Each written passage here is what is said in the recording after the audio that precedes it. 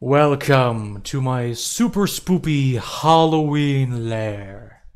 It's spoopy because it's orange. Today, you're going to be getting a real treat. Today, we're remembering one of the Halloween artifacts of my childhood, and something I truly thought was a fever dream I had because nobody else seems to remember it. And I used to literally eat all of my Halloween candy in one night, so sugar induced fever dreams aren't really out of the equation for me. Regardless, I'm referring to the scary Godmother movies. Let's talk about it.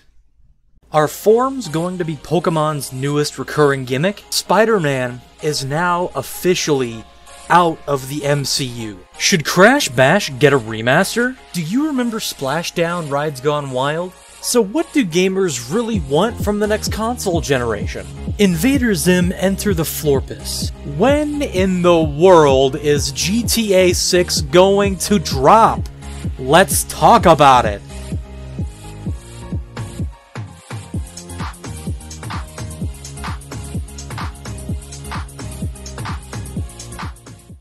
What's going on guys? Jeremy Bandicoot here, back with a Halloween Spooktacular! Today, we're diving into a movie franchise that I honestly don't think anyone else on this planet but me has ever seen. We're talking about the Scary Godmother movies today, just because I wanted to do something a little different for Halloween. Now, I racked my brain relentlessly to think of a piece of Halloween media that was near and dear to my heart during my childhood, and I finally landed on this franchise after thinking of literally every other single Halloween movie I had ever seen. Honestly, the only reason I remember these movies is because for some reason I adored them when I was a kid, and that honestly kind of embarrasses me. It's not the fact that these movies are bad, far from it. It's just the notion that the main character of these films are a little girl finding their Halloweeny fairy godmother, affectionately dubbed Scary Godmother. And everyone gets together for a Halloween party and has a grand old time. Sure, hijinks ensue, but that's pretty much the rundown of the entire story. I feel as if the art style was the thing that drew me into the franchise in the first place, as it truly is a one-of-a-kind style, even to this day. It reminds me of the animation used in Monster House, but with more fluidity and cohesive animation. The reason they did the animation this way was to keep the integrity of the books, as the books used watercolor to portray the story, which is a really neat touch, and is amazing that the studio went as far as the animation style with regard to keeping the integrity of the property, so props to you guys, that's awesome. I think the other big thing that enthralled me about this series was not only the existence and embodiment of monsters, but their portrayal as misunderstood and just living their day-to-day lives like any human would. Everything from vampires to skeletons to werewolves to black cats are present, and in this franchise, monsters exist in a place called the Fright Side, which is a place that is powered by Halloween spirit. It's basically another dimension where it's Halloween literally all the time, and Scary Godmother brings the main character there in efforts to show her what Halloween is all about during Scary Godmother's big Halloween party. The characters in these films take traditional Halloween monsters and give them each enthralling personalities, my personal favorite being Skully Pettibone, an extremely theatrical and flamboyant skeleton who has a real eye for show business. Despite Scully being my personal favorite, I don't have any gripes with any other characters in the film. They're all entertaining, have their own unique personalities, and make the journey through the film fun.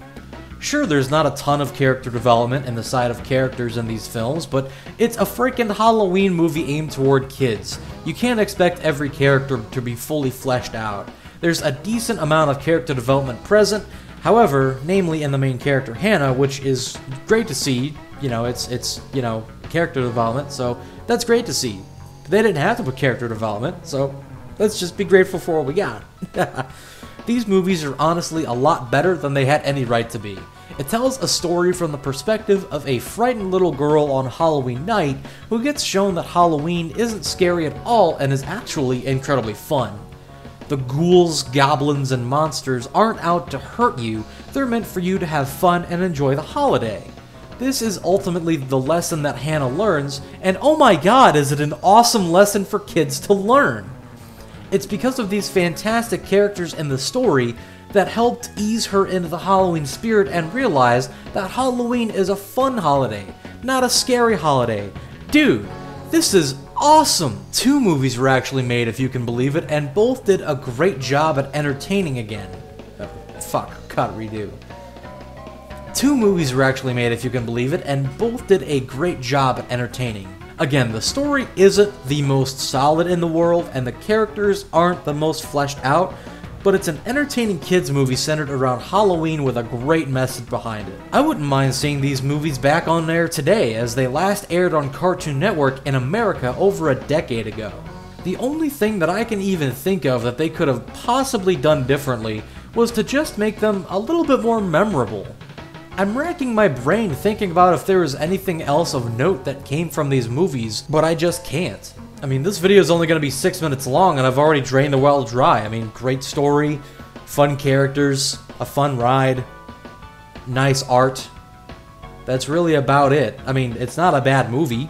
It's just not very memorable, which sucks. I mean, regardless of, of all of that, both movies were a fun time, and I wouldn't mind making them a Halloween tradition of mine around the house. In fact, I'm gonna go find a copy, uh, but before I do, seeing as how we're still on time, I'm checking my watch, we're still good on time, I'm gonna tell you a personal story of mine that correlates with this film, and it's kinda too short for a storytime video, so here we go.